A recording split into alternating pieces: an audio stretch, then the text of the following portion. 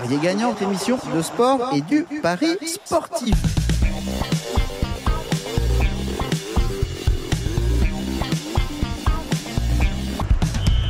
Salut tout le monde, un nouveau numéro de parier gagnant. Salut Ben. Salut, salut Daps, salut à tous. Ouais. Bon, J'espère que vous allez bien. Ça fait euh, deux semaines qu'on ne s'est pas entendu. Euh, voilà, on a, on a un problème, euh, on a un programme chargé. Un peu de foot, un peu de rugby, un peu de hand, du MMA. J'en oublie, Ben? Euh, Tennis, 30 tu voulais un peu? un- 30 secondes sur le sport d'hiver, ouais, un, peu, un peu de. Peut-être un, un- un- petit peu de, de tennis, euh, voilà. Donc on va dire un peu, un peu complet pour ceux qui aiment bien les, les fléchettes et, et la pétanque. Non, désolé, on, on Il n'y a pas de fléchette aujourd'hui. et pétanque. euh, D'ailleurs, on- d'ailleurs, on l'a jamais fait. Non, jamais. Voilà. Allez, vite fait, on commence. Bon, on, va aller par, on va aller du côté de la Ligue 1. Alors là, moi, je vais te le dire tout de suite, il n'y a aucun match qui m'intéresse sur cette, sur, ce, sur cette journée. Toi, je sais pas. Même pas le derby. Même pas le derby. De... Lorient-Brest. Non, parce que franchement, Brest, euh, je... j'ai aucune idée de ce que fait Brest. euh, Ils sont illisibles comme équipe, donc euh, non. Non, non. Bah, J'étais au match euh, Brest-Monaco. Ouais, Euh, un petit coucou à François qui était avant, on a discuté. ouais. Euh, écoute, euh, pff, j'ai rien compris parce que Gabriel faisait partie de, de, de l'équipe type. euh, il nous a fait des trucs, là, je ne le, je le reconnaissais pas. Si, si garde ce niveau-là, c'est super pour nous. Duvert de l'autre côté, son alter ego, idem. Euh, ouais, c'était assez surprenant. Écoute, j'espère qu'on a trouvé un. Alors, je, je dis ça aux auditeurs. Euh, je ne suis pas forcément Brest, et puis, euh, voilà, vous, avez bien raison pour l'instant. Mais on a peut-être, ils ont peut-être trouvé une identité de jeu. Donc peut-être que ça, va aller mieux. Euh, après, effectivement, le derby Lorient-Brest, euh, les codes, c'est quasiment. euh, en gros, c'est 35% de chances que, Lorient gagne, euh, 30, euh, 30% de, de matchs nuls et, un, peu plus, et, le reste pour Brest. Donc euh, bah, c'est quasiment kiff-kiff. euh, N'importe quel résultat peut, peut se passer dans ce match-là. Donc c'est pas vraiment flamboyant. Après, écoute, euh, euh, Bordeaux-PSG, euh, pff, pareil, je sais Ouais. pas. Alors, Lille-Angers, est-ce que Lille, les gens ne les voient pas trop beaux parce qu'ils ont gagné à- parce qu'ils ont gagné leur, leur match de, de Ligue des Champions à, à- à l'extérieur? Euh, Attention, voilà. Ça a tellement Lille, été irrégulier, Lille, que c'est impossible à lire. J'ai toujours du mal à faire confiance à Gourvenec, donc c'est ça le problème. Ouais, ouais. Euh, et puis, et puis euh, ouais, tu as un match de la mort aussi, Saint-Etienne-Clermont. Ouais, oui. Ah, Bah, ça fait deux euh, match de suite que Saint-Etienne joue un match de la mort. Ah bah, là, Mhm. et un, un match très intéressant aussi, le dernier match de la journée, c'est Rennes-Lyon. Bah, ça, franchement, si, ouais. si vous pouvez le regarder, euh, regardez-le. Puis de toute façon, après, vous êtes peinard pendant une douzaine de jours, ça, c'est la trêve internationale. ouais. Il y a un lance Si vous 3. avez un- Ah, intéressant, tiens. Lance Ah oui, il y a un lance 3 aussi, ouais, Ouais, après, un et lance, mine de 64. rien, voilà. Ouais, un 64, c'est un peu court la victoire de Lens quand même. Donc si tu fais même un prono bête, euh, ça vaut pas le coup. Vincent m'avait dit du, coup tordu, donc euh, il, aime bien Lens. Il m'avait dit fais attention à eux. Moi, j'avais j'y crois pas. Il m'a dit fais attention à eux cette année avec le public qui revient et tout. Ouais, écoute, j'étais assez sceptique. Et puis, ben, forcé de constater que pour l'instant, Lens, dans, dans le premier tiers du championnat, ils sont là et bien là. Donc, écoute, euh, je, ne sais pas si, ça va durer. Il y en avait beaucoup qui avaient pris Nice cette année top 4 ou top 5, top 6, je sais pas. J'en, j'en avais parlé avec, avec quelques-uns d'entre vous. Et euh, ça, normalement, ça devrait, ça devrait Ouais, le faire. ça Vu devrait comment, passer ça. vu comment on y joue et, et vu les autres. euh, Mhm. et, et donc voilà, trêve internationale qui, qui va avoir qui va avoir lieu. Donc écoutez, euh, Ouais. on verra si- s'il peut y avoir quelques quelques petits coups à, à- à faire. Toujours avec, euh, j'ai toujours une pensée à chaque fois pour, pour le Monténégro, je sais pas pourquoi. Mais euh, mine de rien, ils, ils- ils- ils- ils font leur leur petit bonhomme de chemin, même si vous n'êtes pas prêt de les voir en vous n'êtes pas vous êtes pas prêt de les voir en comment j'allais dire en, en- en Coupe du Monde, hein, mais euh, voilà, j'aime. euh, comme vous savez, euh, j'ai- j'aime bien cette équipe et il y y a quelques joueurs qui jouent, qui Ouais. jouent en France, mine de rien. Euh, donc ça veut dire que euh, bah voilà, le, le niveau de, de l'équipe et du pays. euh, en même temps, hein, ils sont avec Pays-Bas, Norvège, Turquie, Monténégro, Lettonie, Gibraltar. Bon, ils sont quatrième, en gros, ils sont à leur Ouais. place. Ils n'ont pas. Voilà quoi, ils sont pas, ils sont pas euh, ridicules, ridicules. Euh, Ils ont fait 2-2 en Turquie, tu vois, par exemple. Bon, c'est pas mal. c'est voilà, cette petite équipe qui progresse que, que, je regarde toujours du, coin de l'œil.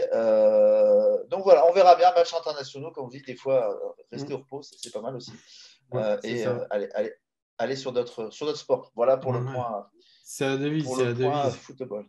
Ouais, euh, moi j'irais bien faire juste vite fait un petit tour en Angleterre, Derby, Manchester United, Manchester City. Euh, Manchester Ouais, exactement. je me vois venir gros comme une maison. Euh, je vais dire les codes quand même, parce que quand je vois les codes, c'est quand même hallucinant. Manchester United 4,70, nul à 4,20. Manchester City, victoire 1,72. Donc euh, largement Manchester City voilà, qui, sont, qui sont devant. Ils, ont fait, euh, ils ont fait un gros match hier euh, contre Bruges. Euh, ouais, voilà. BTTS parce que, bah parce que malgré tout, même si Manchester United n'a pas de résultat, bah, il marque des buts qui à chaque match. Hein. Ronaldo est en forme. voilà, il est encore capable de briller sur ce genre de match. Donc, un BTTS pour cela, tu dois tourner autour de entre 1,50 et 1,55, pas plus. Mais bon, ça reste value pour moi. Voilà, après, c'est les derbies. Des fois, ça peut être des matchs fermés et tout ça, mais euh, à mon avis, ce ne sera pas un match fermé parce que, parce que voilà, c'est la tête de Solskjaer peut sauter sur ce match-là et Manchester City peut aussi, euh, peut aussi enfoncer et puis euh, rattraper Chelsea qui est, qui est, devant. Donc, je ne sais pas ce que tu en penses, toi, mais voilà. Vu que, Vu que Paul Pogba choisit, ses matchs, je pense qu'il a dû cocher celui-là. Mm. alors, pour info, c'est très surprenant, c'est pour ça que c'est la loi des séries. Cinq derniers matchs de Manchester City, Manchester United, il n'y a eu aucun BTTS. Mais euh, il faut aussi relativiser que c'était euh, sur les cinq derniers matchs, il y a eu deux, fois des matchs de coupe. Mm. Euh, et les cinq matchs d'avant, il y a eu, et les six matchs d'avant, il y a eu cinq BTTS sur six. Donc tu vois, c'est c'est ouais, un peu la, loi des séries là, entre ces, ces deux équipes-là. Mm. Après, tu vois que cette année, euh, la force offensive des deux équipes est forte et euh, défensivement, ils sont plus faibles que les autres années. Donc, tu équilibres. Déjà, déjà Manchester City marquera. Euh, Manchester United en défense, oh c'est compliqué. Mm, mm. et après, oui, tu as Ronaldo en face. Donc, écoute, c'est possible. Mm, c'est possible. Après, voilà, BTS, faut, chacun, chacun voit comme bon lui semble. là, c'est un derby. Donc, à regarder, hein, si vous pouvez le voir c'est toujours une, ambiance de, une ambiance de fou.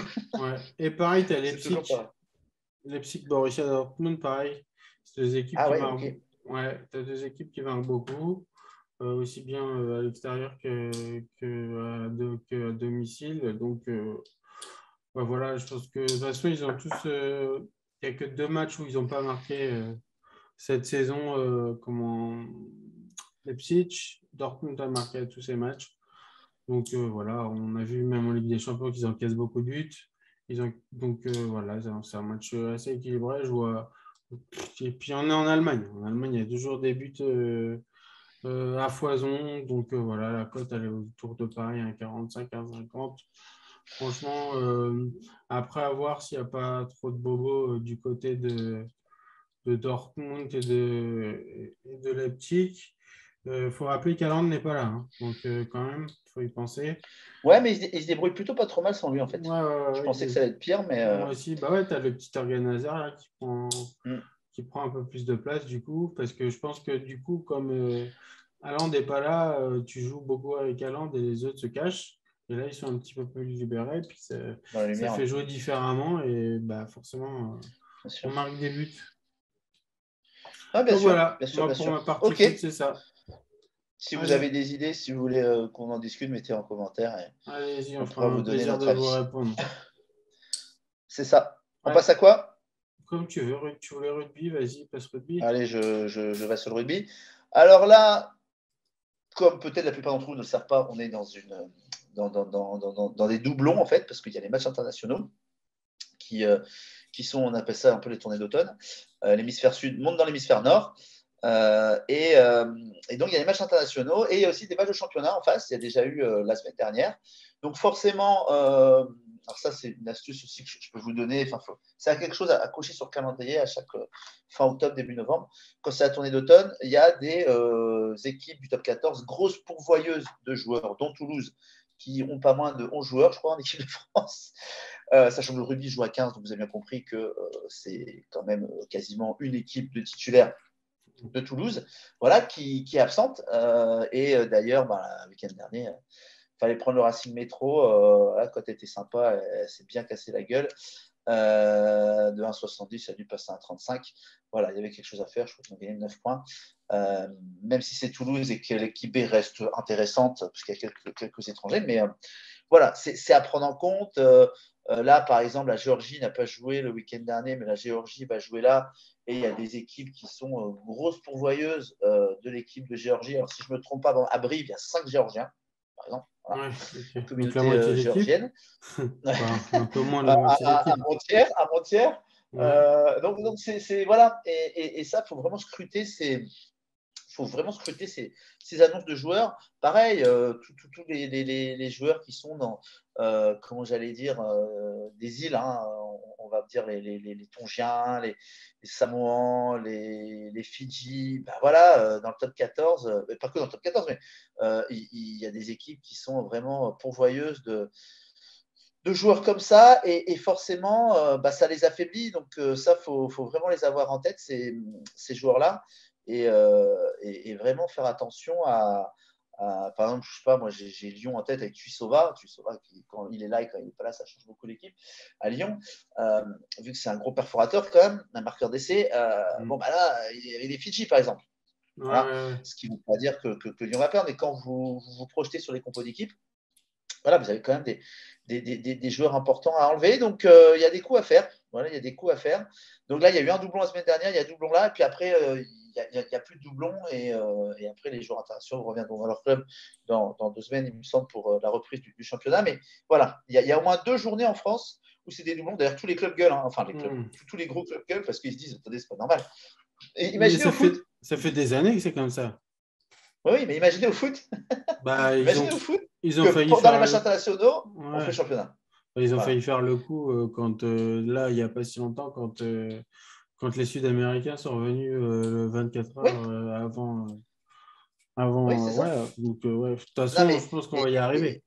Partout. Et c'est hallucinant. Et, et, retenez bien, d'ailleurs, j'en parlais avec, avec François l'autre jour parce qu'on s'était dit, là, je vous lance comme ça, Metz descend pour nous, c'est quasiment rédhibitoire et ah, ouais. encore à 2-10. Pourquoi Parce qu'il y a la 4 en début d'année et Metz, dans leur 11 titulaires, ils ont beaucoup T'as la, moitié de l'équipe? T'as la moitié de l'équipe? Oui, c'est ça, qui, qui vont à la Voilà, c'est ça. Donc déjà, qui sont avant-derniers, qui galèrent, euh, mm. quand il y aura euh, tous leurs joueurs africains qui vont jouer la Cannes, et euh, allez, on va leur dire que ça va leur prendre au minimum un mois à cinq semaines. pendant ce temps-là, Metz, scrutez bien ça. Hein. Mm. Je vous le dis, je vous dis ça, j'ai pas le calendrier en, tête. Premier mm. match de Metz sans ces Africains, notez-le, il y a grosse value en face. Hein. Voilà, je, vous le dis comme ça. Ouais. Euh, à saint c'est pareil ou pas? En général, ils sont beaucoup aussi. Euh, honnêtement, euh, Metz, ça m'a marqué parce que j'en étais en train de regarder ça. Et il faudrait étudier chaque club combien de joueurs ils perdent. Et mm. mine de rien, ça peut faire des, ça peut faire des, grosses diffs. Voilà, je reviens sur le rugby, mais pour vous donner cette astuce-là. Donc, ce week-end, euh, on a des, matchs un peu fleuris. Hein. On a Irlande-Japon. Bon, voilà, ça rappelle un, peu la Coupe du Monde et vivement la Coupe du Monde 2023. Je le rappelle qui aura lieu en France. Hein. voilà, donc euh, mm. j'ai mes billets. Euh, ceux qui, ceux qui en ont pas, bah, quand ça va être de nouveau en vente, n'hésitez pas parce que cet événement-là, je pense que ça va être quand même extraordinaire. C'est la première fois quand même depuis belle lurette que la France peut être championne du monde. On n'a jamais été hein, avec l'équipe qu'on a. donc il y a Irlande-Japon. Bon, il y avait quelque chose à faire sur l'Irlande quand la cote était à 15, à 20, elle a chuté en dessous d'un 10. Bon, voilà, c'est un peu bas. Bon, Italie, Nouvelle-Zélande, je ne parle pas trop. Angleterre, Tonga, bon, ça, euh, pareil, il n'y a pas vraiment de suspect. Pays de Galles, Afrique du Sud, avec Halloween Jones qui, euh, qui a été, euh, comment dire, blessé là. il ne sera pas là. L'Afrique du Sud, pour moi, il n'y a, a, pas photo, ils seront au-dessus. sachant que Pays de Galles a, du mal en ce moment, pas mal de blessés à trouver Identité de jeu, bon, pareil, la cote a un peu baissé, mais pour moi, ça reste, ça reste sympa. France-Argentine, là, j'ai envie de voir. J'ai envie de voir. Euh, la France est largement favorite, mais j'ai envie de voir. J'ai envie de voir un peu ce qu'on peut donner, parce que, par exemple, il va tester du euh, Ntamak euh, Jalibert, par exemple. il, ne va pas mettre du pont. on a un Écosse-Australie. Franchement, très sympa à regarder. Là, c'est 60-40 pour l'Australie. écoutez, c'est. Voilà, 60-40 pour l'Australie, c'est tout? Ouais, ouais, ouais, tu vois, c'est pas. C'est pas. Vous avez encore du 1,70 pour l'Australie. Bon, là, il faut vraiment voir la compo écossaise. Hein. La compo écossaise. Mais en tout cas, voilà. Euh, il y a des petites, euh, des petites choses à jouer en combiné l'Afrique du Sud, euh, l'Irlande. Voilà, j'aime bien. Et donc, le doublon avec le top 14, forcément. Et bah, justement, voilà, Brive Racing Métro. Il y a encore du Racing Métro à 80, je vais un peu plus haut. Moi, j'ai pris du Racing Métro, malgré que Racing Métro ait beaucoup de blessés aussi. Brive, comme je vous ai dit, il y a toute la colonie géorgienne qui part. et voilà, donc moi j'estime que Racing Métro, avec la même équipe qu'ils ont mis contre Toulouse l'autre jour, ils ont possibilité d'aller battre à Brive. Et je trouve que même s'ils gagnent au rugby extérieur, c'est compliqué. La cote, la cote 1,80 est, est, très sympatoche. Pour Toulouse, de toute façon, Toulouse, ils rencontrent Perpignan. Donc même avec une équipe B, je pense que Toulouse peut battre Perpignan. Euh, enfin, enfin, battre Perpignan, de toute façon, c'est pas. Voilà. Euh, vous avez quoi encore? Euh, Voilà, Lyon-Castres. Ah, Lyon, Lyon, Lyon, Lyon, ils donnent cote 1,28. Tout le monde les voit, les voit facile vainqueurs de Castres. Mais Castres, c'est une équipe que j'ai du mal à, ils surprennent. Donc, 1,28, euh, c'est pas trop valu non plus. Hein. je trouve ça un peu faible. Ouais, je trouve ça un peu faible. Voilà. Donc, euh, euh, il y a des petites choses comme ça. Ah oui, il y a du Van qui va jouer à Rouen aussi. Je continue à les surveiller. leur, dynamique, leur, dynamique est quand même meilleure. C'est 50-50 à Rouen. Bah, si c'était le Van de l'année dernière, il fallait y aller tous les jours sur Van. Mais là, c'est le Van de cette année. Et c'est un petit peu plus compliqué. Vous avez aussi le doublon en, en première chip anglaise. Hein. Euh, voilà, mais j'ai rien trouvé de, de, vraiment, de vraiment transcendant. Donc c'est pour ça que il y, a du etc à la maison, mais les codes sont basses, du Saris aussi, 1,04. Enfin bon, bref, c'est un peu, un peu bas. Et euh, voilà. Donc pour moi, euh, vous pouvez prendre du Irlande, Afrique du Sud. Irlande, Afrique du Sud en combiné avec du, du, du, du qu'est-ce que j'ai dit tout à l'heure? Euh, j'ai oublié ce que, que Irlande, Afrique du Sud et quoi encore. Euh, vous pouvez acheter Pau, parce que Pau n'est pas trop impacté par, par euh, les doublons, donc ça peut faire une cote sympa. Et puis en sec, je prends du Racing Métro 92 à Brive. Voilà. J'estime que le Racing peut aller gagner à Brive. Brive sans. Ils sont toujours chiants à jouer, mais sans les Géorgiens, ça, ça impacte quand même pas mal pas mal d'équipes. Mm. Donc voilà pour moi au niveau du euh, rugby. Et il y a des paris que j'aime bien, qui ne sont pas encore sortis, je ne peux pas trop vous en parler. C'est euh, les petites équipes en matchs internationaux, combien de points vont-elles marquer? Paris Web fait ça. Par exemple, là, euh, la, semaine dernière, j'ai pris le Pays de Galles, marquera moins de 18,5 points. La cote était à 50. Ils en ont marqué 16, mais je ne les voyais pas, vu l'état de l'équipe, et c'était les Blacks en face. Je ne les voyais vraiment pas marquer 19 points. Ils ont marqué 16. Euh, et là, il y a par exemple l'Italie, marque plus ou moins de 6,5 points contre les Blacks. Alors, 6,5, je vous dis pourquoi j'aime pas. Parce que euh, c'est plus de pénalité. Si ça avait été du 5,5, j'y serais allé. En fait, j'aurais pris euh, l'Italie, marque plus de, plus de, de 5,5 points. voilà. Mais les handicaps alternatifs vont sortir. Le 6,5 à 70. Le 5,5, je pense qu'il sortira autour d'un 55 à 60. Et le over 5,5 points pour euh, l'Italie, ça fait deux pénalités, par exemple. Et puis les Pays de Galles, à un moment donné, en fin de match, ils se relâchent toujours. Euh, voilà, il y, a moyen que, il les Italiens, quand même, euh, passent, passent deux pénalités. C'est pour ça que je vais, là-dessus. Mais c'est un type de pari intéressant. si vous ne les connaissez pas, voilà, c'est à découvrir. Et c'est vrai que voilà, à titre personnel, moi j'aime bien ces, euh, types de, c'est dans le point, par exemple. Donc par exemple les derniers, juste pour tout, pour vous dire, les derniers euh, Italie, Nouvelle-Zélande, 2012 10,42, 2016 10,68, 2018 3,66. Tu vois, 3,66, euh, bon, il manquait une pénalité et ça passait, là ça passe pas. voilà, on va voir un petit peu ce qui va se passer là. Ok? Ouais, ok. Bon, on enchaîne vite fait parce que Benoît, tu as été bavard là. Ouais, pardon, excuse-moi. Non, mais vas-y, toi, vas-y. Enchaîne sur la boxe. Ouais, bah, je vais zapper le BBH. Je voulais parler du BBH, mais il n'y a pas grand-chose à dire finalement, sauf qu'elles sont complètement cramées et que, à mon avis, il y a un match de Metz qui est dans, 10, euh, dans quelques jours là. Euh, allez sur Metz tout de suite. je ne vois pas du tout euh, Brest, Brest gagner. joue contre Dijon là samedi. la cote ne sera pas sera pas non plus euh, franchouillard, je pense, pour, euh, pour, quand, pour Brest, hein, parce que Dijon, c'est pas terrible, mais bon, on ne sait même pas ce qu'elles vont faire. Euh, vite fait, vite fait, qu'est-ce que j'ai? Ah ouais, vite fait, j'ai, euh, pendant que j'y pense, j'ai euh, du Hamilton, Hamilton, comment Verstappen sur le podium à 1, à, à 2,20, si tu à 1,40. Attends, hop, hop, hop, j'ai des Ouais, euh. Tu combines euh, Verstappen et Lewis Hamilton sur le podium, 1,28 pour, euh, pour Verstappen et 1,47 pour Lewis Hamilton. Ça fait une bonne une cote assez sympa. donc voilà, je pense qu'il y a moyen de faire quelque chose. On va parler MMA maintenant. Alors, MMA, les gars, il y a un super événement euh, de ce week-end. Franchement, c'est certainement un des événements de l'année, suis quasiment sûr. Avant ça, euh, je voudrais vous parler quelque chose parce que si vous ne connaissez pas le MMA et que vous n'avez pas forcément vu un match, euh, il y avait un combat la semaine dernière entre Petroyan et Cory Sandagen. Pour moi, ça a été le combat, le meilleur combat déjà de l'année et peut-être même des dix dernières années, peut-être. C'est vraiment un super combat à regarder. Euh, je vais vous le dire comment, vous comment pouvoir le voir. Euh, bon, c'est pas forcément euh, légal d'aller le voir sur ce site-là, mais mmh. allez-y. Oh, mais bon, voilà, on peut. Et eh, tu fais ça à titre informatif. je fais ça à titre, voilà. Vous allez sur. Voilà, euh, tu ne pousses personne, tu ne fais pas l'apologie des trucs, tu dis que ça existe. Après, la drogue existe aussi, hein. vous hein, pas dit ça. Donc voilà, vous allez sur un même accord, vous tapez Petroyan contre Cory Dagen. Je vous dis pas qui a gagné, ce qui s'est passé dans le combat, parce que ça serait vous spoiler, j'ai pas envie de ça. Mais euh, allez-y. Hein? tu sais, toi?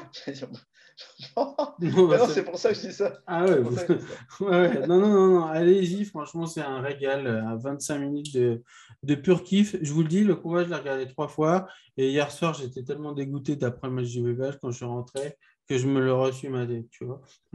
Donc, euh, voilà. Allez, on passe à la carte euh, de ce UFC 268. On veut des paris, on veut du comme du Furic. Ouais, ouais, ouais. Il y aura comme, euh, Je vais essayer d'être aussi efficace. C'est au Madison Square Garden, donc c'est une méga salle. Donc voilà, euh, on sait, premier combat pour la ceinture, c'est le main event entre Ousmane Kamaru et Colby Covington. Ousmane Kamaru, victoire à 31, Colby Covington à 3,55. C'est une revanche. Euh, Ousmane Kamaru, euh, c'était il y a quelques, années, c'était il y a deux ans, je crois, qui s'était combattu. Ousmane Kamaru avait battu Covington euh, par KO à la cinquième reprise. voilà, il s'est passé du temps depuis. Il faut dire que Ousmane, il est sur 14 victoires consécutives. Personne n'a réussi à lui placer un takedown lors de tous ses combats UFC. C'est jamais arrivé, c'est le record. C'est le record. Euh, Ousmane Kamaru, il, à tous les combats, il progresse. J'ai jamais vu un mec, euh, on sait ce qu'il est capable de faire. Et quand tu vois un autre combat, bah, il sort un autre truc qu'il n'a jamais fait avant. Il progresse, il progresse. Par contre, Kobe Covington, lui, euh, un peu moins, il stagne. C'est plus un mec qui rentre dedans. Euh, qui veut aller à la guerre. Je pense que faire ça contre Ousmane Camaro, ce serait la pire des erreurs. Et je pense même que le combat va se finir plus tôt euh, que de ce qui s'est passé euh, lors du dernier combat. Donc voilà, si vous voulez du safe, 1,31 pour Ousmane Camaro en victoire. Et si par contre vous voulez un Ousmane Camaro qui par KO, par, par TKO par soumission par, euh, ou par disqualification. Euh, voilà, la cote est à 2,20, elle est plus élevée. Je pense que franchement, ça ira là et qu'il va le finir assez, tôt, au moins autour du quatrième, voire du troisième round.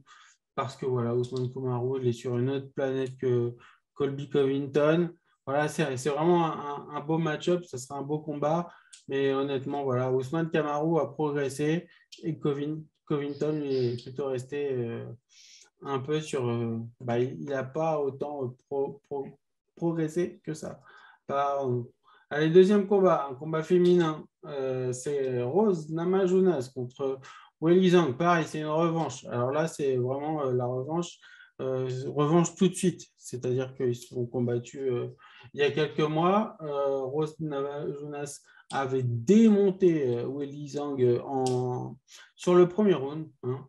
donc ça s'est passé euh, c'était même surprenant parce que Willy Zhang, c'est vraiment une, combattante euh, dure au mal, une strikeuse.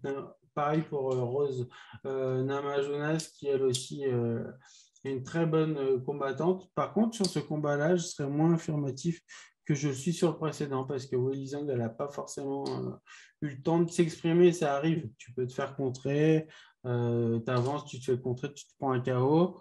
Euh, là, je pense que le combat va être beaucoup, beaucoup, beaucoup plus euh, euh, comment, disputé. La preuve, hein, les bookmakers ne se trompent pas parce que tu as 1,91 pour chaque combattante, la victoire.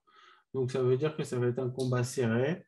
Je pense que le combat va durer un peu, beaucoup plus longtemps que, que ce qui s'est passé bah, lors du, du, combat précédent.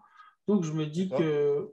Ouais, vas-y, oui. Tu voulais me poser une ah, question? Ah, d'accord, je t'écoute, je bois tes paroles. Euh, non, je, ah, ok. non, je, pensais que tu avais une question. Euh, pour assurer le coup, pour avoir une cote quand même euh, assez intéressante, je me suis dit que, voilà, que le combat allait durer de, à plus de 2,5 rounds, c'est-à-dire qu'on arrive au troisième round. La cote, elle arrive à 1,50. Elle est assez intéressante.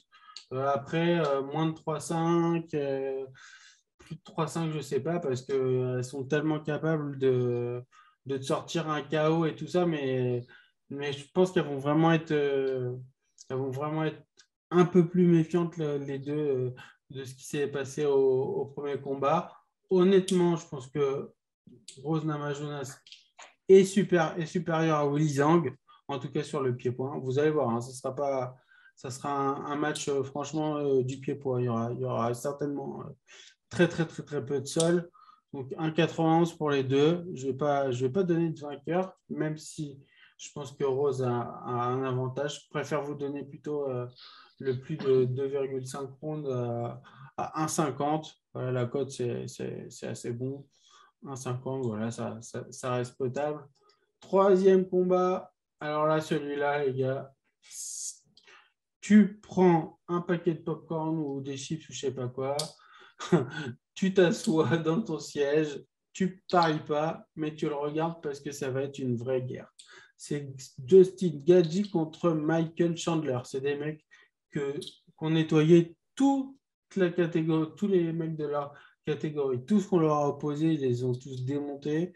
Euh, voilà, ils sont On est d'accord que nettoyer égale démonter. Hein. Voilà, c'est exactement. oui, Pour ceux qui arrivent en cours, euh, c'est ça. on ne parle pas d'hygiène, ça n'a rien à voir. Ouais, c'est ça.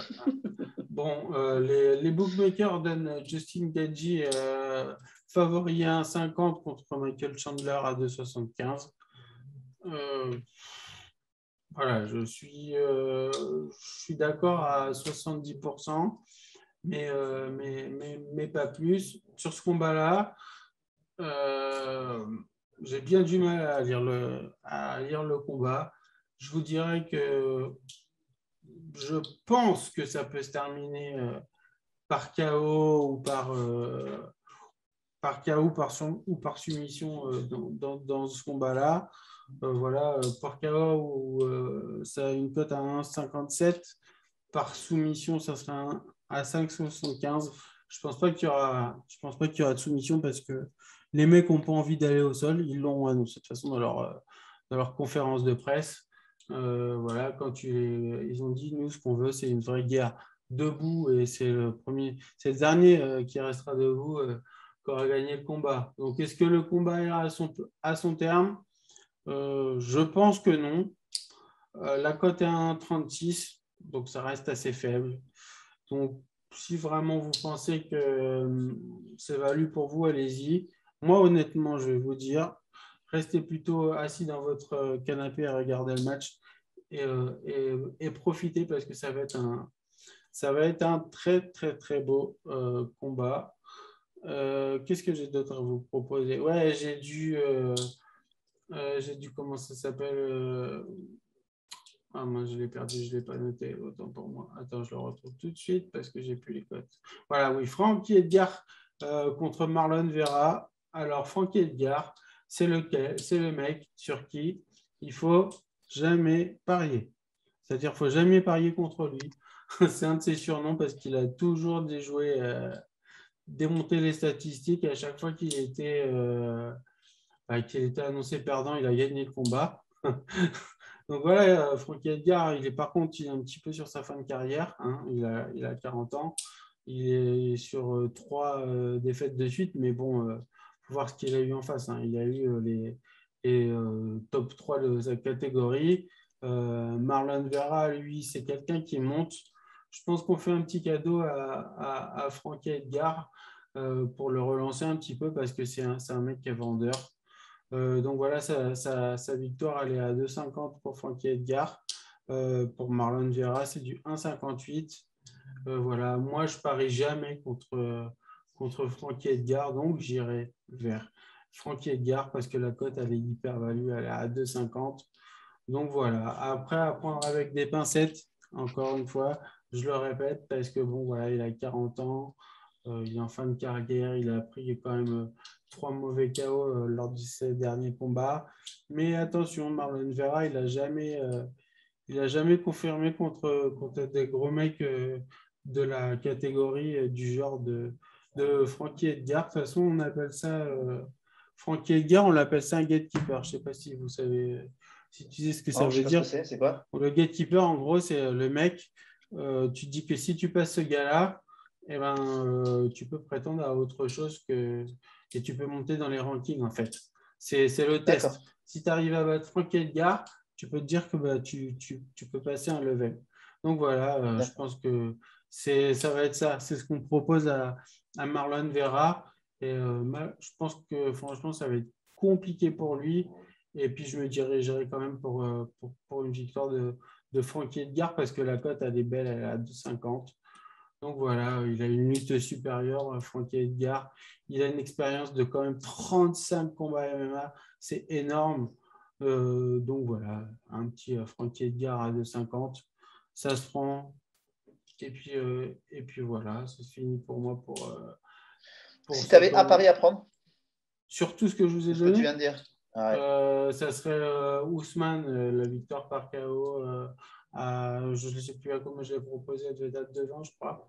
La, toute première que j'ai donnée, euh, je vais Ah ouais, c'est euh, à 2,20, c'est OK. Autant que j'avais je sais plus Fury, c'était Ousmane, Ousmane Camaro gagne par KO KO technique de soumission à 2,20. Pour moi, celle-là, si, si j'en avais qu'une seule à garder, euh, ça serait celle-ci. On peut pas la sécuriser un peu en tombant à 70 à 80 C'est quoi la victoire normale La victoire sèche La, la victoire sèche, elle est à 1,31. Ah ouais, putain. Mm. Ouais, et, honnêtement, j'ai du mal à savoir. Je sais que le combat va durer moins longtemps que le premier qui a duré 5 rounds, mais euh, en même temps, avec Ousmane.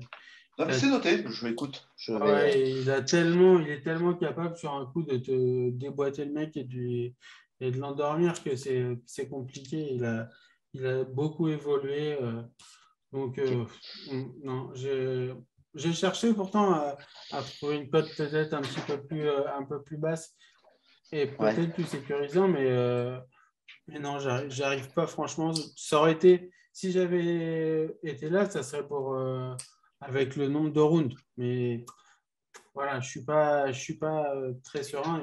Il, est capable de le calmer en un round et le, et le démonter tout de suite. Hein. Donc, hmm. donc voilà, je peux pas, je peux pas vous descendre la cote et vous vous, vous rassurez, j'irai plutôt sur ça.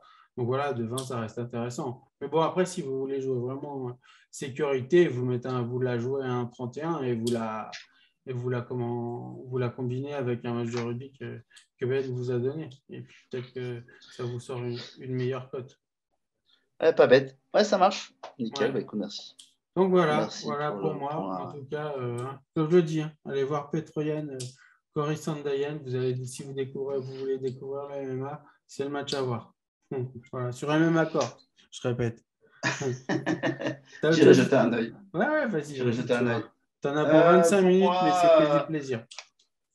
Pour moi, j'avais juste, je ne sais plus si je l'avais dit, mais euh, au niveau sport d'hiver, là, ski alpin chez les femmes, chiffrine, euh, j'avais pris en PLT, j'avais demandé son avis à, Rémi à l'époque. il était d'accord. Chiffrine, qui est pour moi la, meilleure skieuse en termes de gros globe, elle domine déjà le slalom et, les compétitions techniques. elle a vu la mort de son père il y a, à Nantes, il avait totalement, voilà, elle n'avait rien fait. malgré ça, l'année dernière, elle est revenue un peu. Elle n'a pas participé à toutes les courses, mais elle a fini dans le top 5 de, du gros globe. Et cette année, elle a dit voilà, elle revient en force, elle est les Jeux Olympiques. Elle a déjà gagné la première course de la saison. Et la cote pour euh, gagner globe était à 3. Et, je pense que c'était sympa. Je pense qu'elle est toujours au-dessus de, de 2,5 ou un truc comme ça. Donc euh, voilà un, un, petit PLT pour, pour ceux qui veulent euh, supplémentaire. Et je pense qu'on arrive au bout parce qu'on a fait notre quota, je pense. Ouais, ouais, ouais, on a 35 minutes, ouais. on est le poil, on bon, bah, nickel. bientôt. Donc allez, hein, n'hésitez pas à commenter, posez-nous des questions, on y répondra. Voilà, pas de souci. Euh, je pas évoqué tous les combats de la carte parce qu'il y en avait d'autres qui m'intéressaient. Et si euh, vous. Bah, mets leurs commentaires pour ceux qui sont intéressés, tu mettras. Ouais, ouais, allez-y. Ok. Et puis voilà, bon week-end parce qu'il y a pas mal de choses à, à regarder. Il y a du rugby. C'est ça. Il y a du MMA, il y a du foot. Il y a, de la F1 aussi. Il y a de la F1 aussi. Assez passionnante. Donc, euh, ouais, allez-y. Et puis, ben, on se donne rendez-vous euh, soit à très bientôt. Ouais, ouais, soit la semaine prochaine, soit dans deux semaines. On verra, euh, suivant l'actualité, euh, qui est ce qu'on a à vous donner. Allez, Ben. Ça marche. Je te dis. salut à tous. salut, Dams. Plus tard. salut à tous. À bientôt. Bye bye. Ciao, ciao. ciao. ciao.